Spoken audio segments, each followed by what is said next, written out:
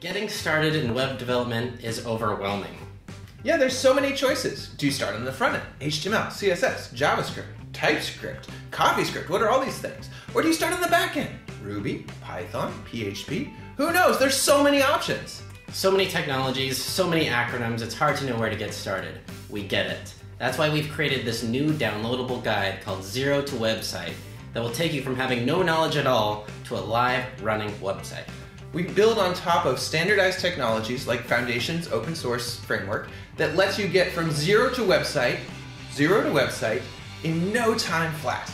And there's even links to easy to follow video instruction directly from the team here at Zurb to get you up and running.